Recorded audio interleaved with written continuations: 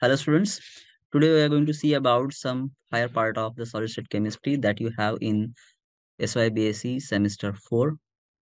In that uh, we are going to see about the recapitulation of laws of symmetry. Then after that we are going to see about recapitulation of laws of symmetry. We are going to see about the structure of the crystals based on the planes that are present in that interplanar distances between the planes. We are going to find out the interplanar distances by calculations and we are going to find out how ex exactly the crystal is analyzed on X-ray diffractometer. So let us start first with the what exactly the crystallography. It is branch of solid state chemistry that deals with the study of crystals because solid state contains two types of particles or uh, materials. We can say that amorphous materials and crystalline materials. Amorphous materials means where you have arrangement of particles in random manner. And in crystalline materials, you have ordered regular arrangement of particles. Particles in the sense we can have atoms, ions, or molecules. Right? And based on the laws of symmetry, we can identify or we can classify the crystals. We can classify the lattice points or lattice.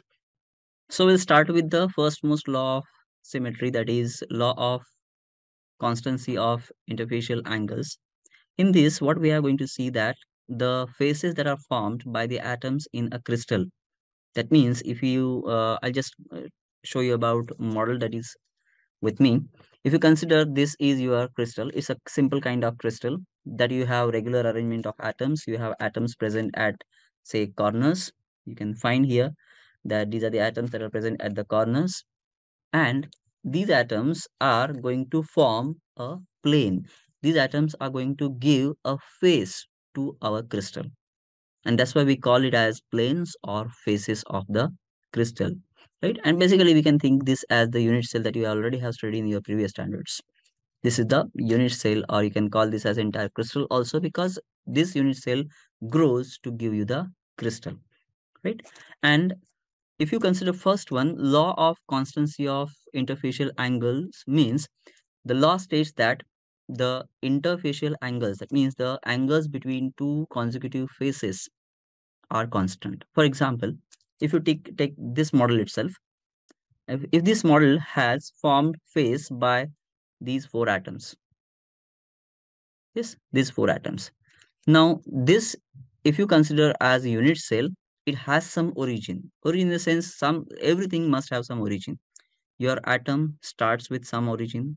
Your crystal, your uh, we can say the uh, unit cell starts with some origin. So that is say this is a origin of your unit cell.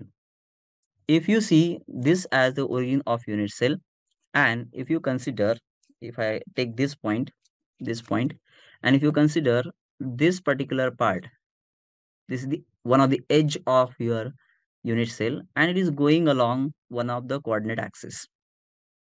Say this coordinate axis is x-axis, right? Your another coordinate axis is going perpendicular to the x-axis, perpendicular to the x-axis, and this is going to form one more face. Now you have some particles present. Same thing you will find at this particular when where this edge ends you will find it over here. Yes this is the edge that ends and this these two edges and these two edges are going to form one face of your crystal or we can say your unit cell right? Now as we call this as unit cell this has a repetition. Yes by repetition of unit cells it's a building block. So if you repeat this block you can build a new crystal. You can big a large crystal. So if you consider this as unit cell and if you are again extending your unit cell, you are putting one more unit cell. So 1 plus 1 unit and so on. N number of units will lead to a crystal, right? So next unit cell, for next unit cell, you will find that this will become the face. Same way, you can have one more unit cell, it will become the face.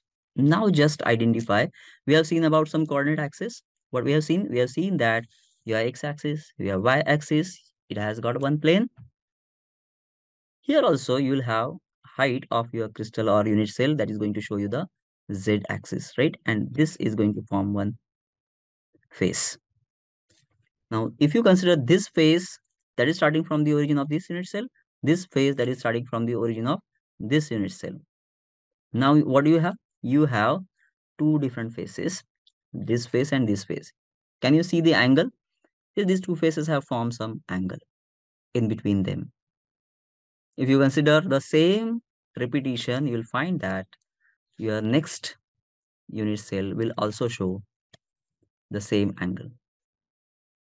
Interfacial angles between the two different faces of unit cell, consecutive unit cells are constant. For example, for this particular unit cell, say if we have this as 90 degree, this angle is 90 degree. So if you put one more unit cell, it will be 90 degree. And so on. If you put one more unit cell over here, the angles should be counted for this face and this face. And that also is 90 degree. If it is tilting, just imagine your unit cell has fixed base. It has a fixed base and if it has tilted, this particular face has tilted. So as the atoms are rigid spheres, what will happen? These atoms will push these atoms away here. And as this angle has got tilted, the next phase, the next consecutive phase of the unit cell, next unit cell we can say, is again tilted. Now, if you count this angle, the angle between these, this face and this face, and the angle between this face and this face, what will you get? You'll get that those angles are same. That means these angles, if you say, and if the one of the face is showing different angle, the next face is also going to show the different angle and, and so on. And it grows in the entire crystal. So let us see how exactly we can see that uh, diagrammatically. Say for example, if we are drawing a cubic unit cell,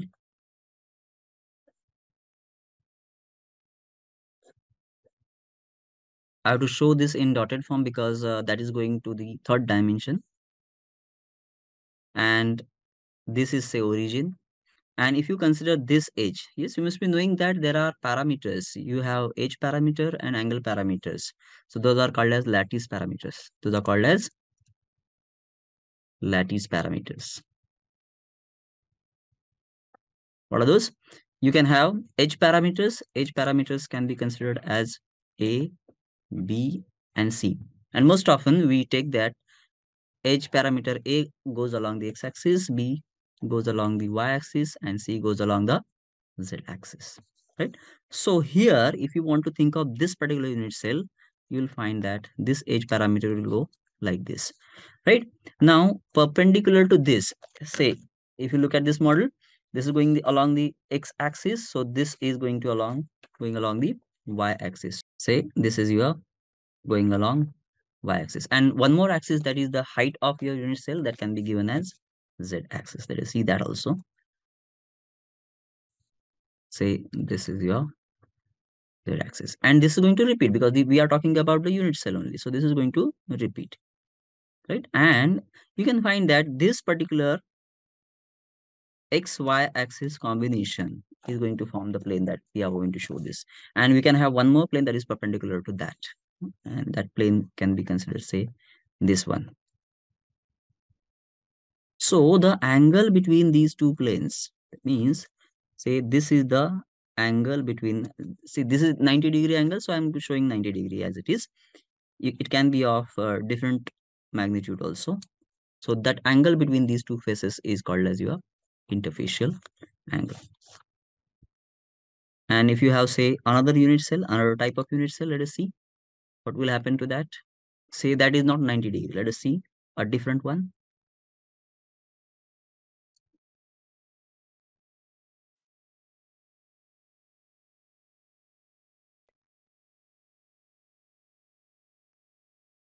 Right? Now here you can clearly see that this is a origin and you have the face along xy axis. This is the face along xy axis and the faces that are shown over here, say these two faces, say these two faces, these faces, right? And if you observe the angle between this face and this face, I'll show you.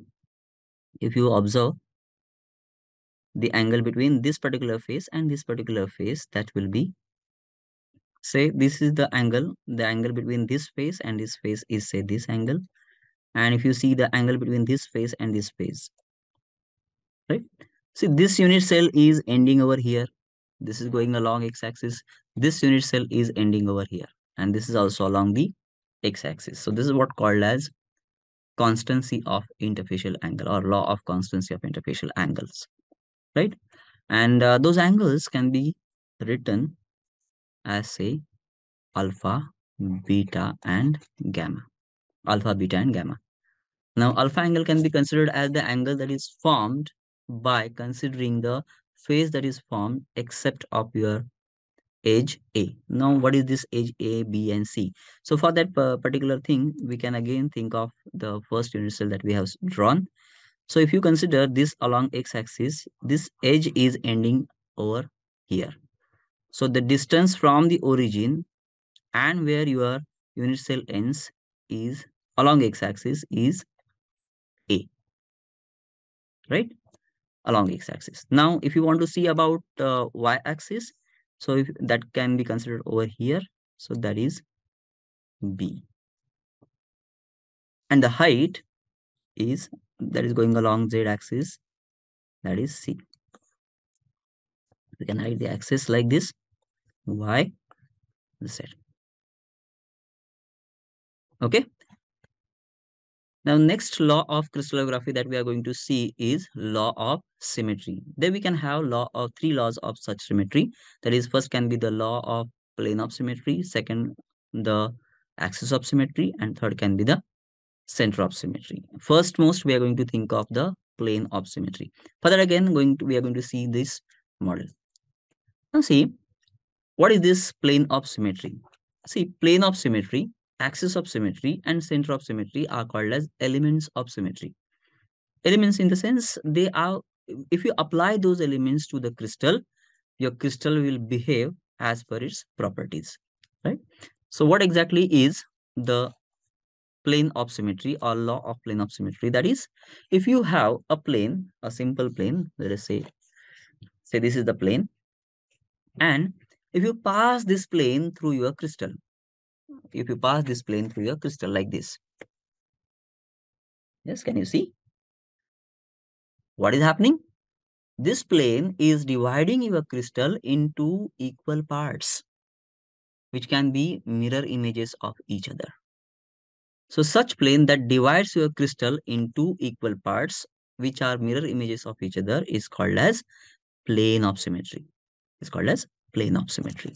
Okay, let us see what can be the types of plane of symmetry and what will be the orientations of the such, such planes of symmetry. Consider if you have a crystal and in which you have a plane that is parallel to x-axis and that is dividing your crystal in two parts. Say if you see like this, it is dividing your crystal in two parts.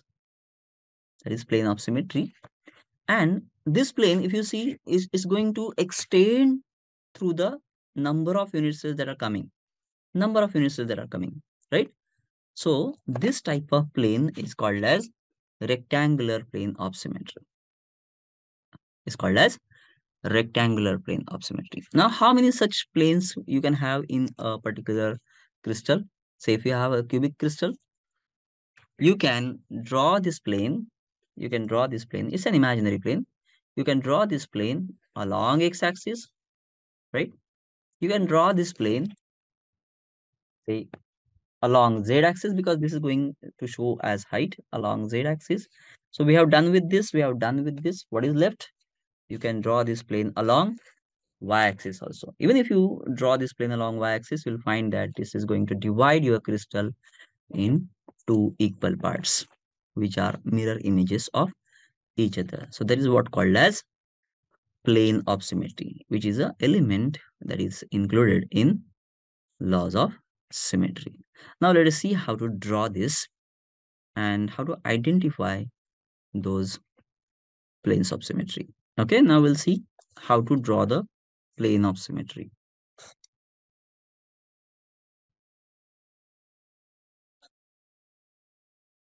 What is to be done? Find out if you if you want to take say if you want to take the plane that is going parallel to x-axis the plane that is going to divide parallel and divide our crystal parallel to x-axis so what we have to do we have to find out the centers of the edges along the axis that is perpendicular. So we can take the center of this edge take the center of this edge center of this edge and this edge right? Simply draw this plane done this is your plane of symmetry. Now, I have used one word that it is rectangular plane of symmetry. Why? Because this plane is going to pass through the unit cells, number of unit cells. So we can say that it is going to pass through the next unit cell also. Right? It's going to pass through next unit cell also. And therefore, it is extending as a rectangle and that's why this plane is called as rectangular plane of symmetry. What is the other possibility? Another possibility is you can have the plane that is parallel to the another axis, say y-axis or z-axis. Let us see.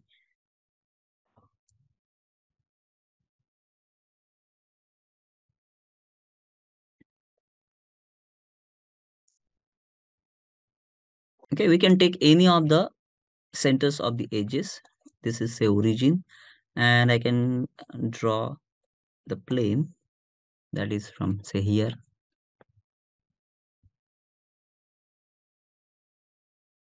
Yes it is intercepting say x-axis. It is intercepting x-axis right? It's going hmm. parallel. Can you see this plane is going parallel to which axis? This plane is going parallel to y-axis because the y-axis is like this. And it's going parallel to z-axis also.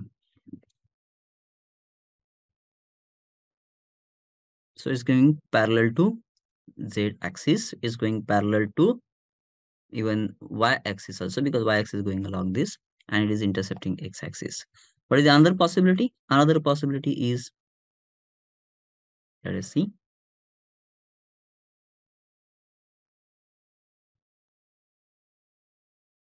We can divide our unit cell from this side. This, this, and this. Simply you have to join the centers of the edges.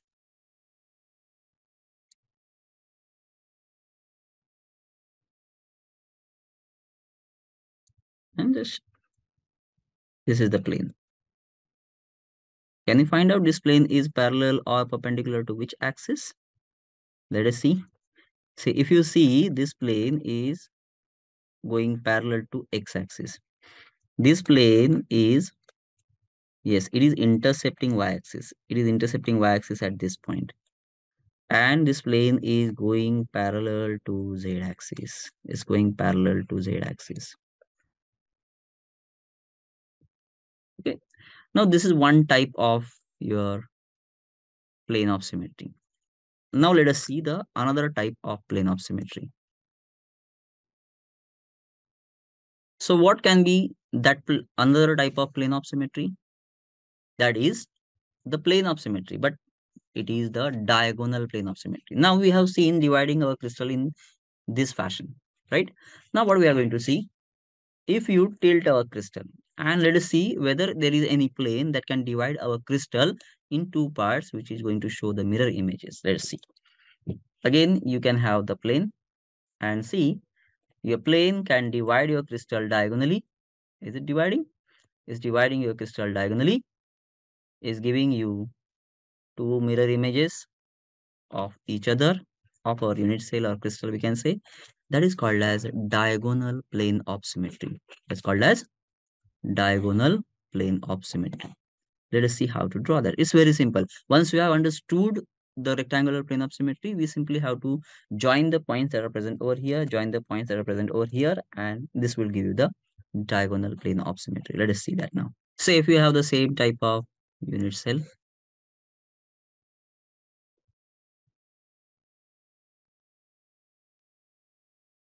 Okay, now what is to be done? We simply have to find out the diagonals. I can add one more unit cell so that we can get clear idea about the planes that are dividing our crystal. This is the origin. Now what is to be done? We have to select the points that are going to show us the diagonal. So these are the four points which can divide our crystal in two parts. If we're drawing like this, say this is like this, this and this is the plane and this plane is I'm drawing I'm just shading it. This is the diagonal plane of symmetry and it repeats definitely it will repeat for these atoms also